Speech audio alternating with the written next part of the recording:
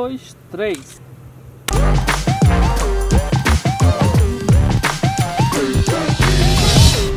iPhone versus câmera profissional. Será que dá para comparar? Será que a qualidade é parecida? No vídeo de hoje eu vou fazer um comparativo entre esses dois equipamentos e você vai ficar sabendo se realmente a tecnologia dos smartphones já chega perto de uma qualidade profissional.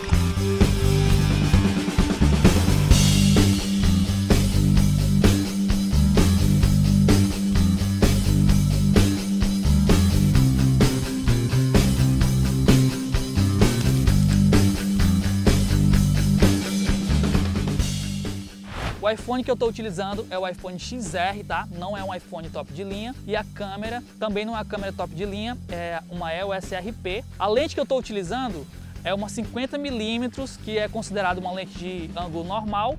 E aqui no, no iPhone é uma lente grande angular. Então tem essa pequena diferença que a gente vai ver nas fotos.